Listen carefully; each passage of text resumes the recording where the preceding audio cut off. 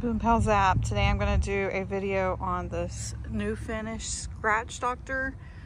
I have quite a few scratches down the side of my van where I've hit mailboxes and um, well, I hit the mailbox once and then I hit uh, the garbage cans coming in the driveway a few times.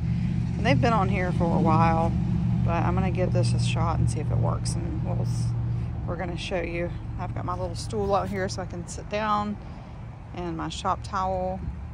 And I'm gonna go ahead and get started. Okay, so I already started. I've been rubbing it on there. I just put a little like dime size amount or quarter size amount on my towel. And I've just been rubbing it on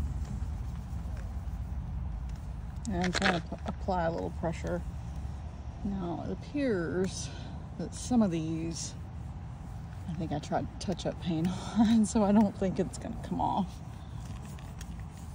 So, we'll see.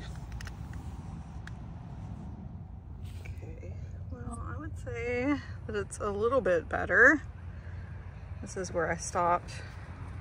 You can see the dent. And here's the scratches I haven't worked on yet. And then this is where I started using it. There's one that's pretty deep right here that I couldn't get. But the other smaller ones, they look a lot better. So I'm gonna do this. Okay, so there it is. Um, I really believe that this would look a lot better if I wouldn't have put the touch-up paint on it.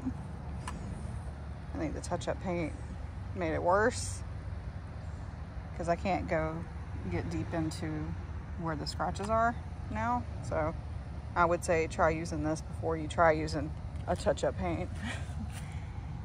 and there's the deep scratch. And you can see a dent. But overall, I think this works pretty well. Don't pause that, like, subscribe, comment, and share.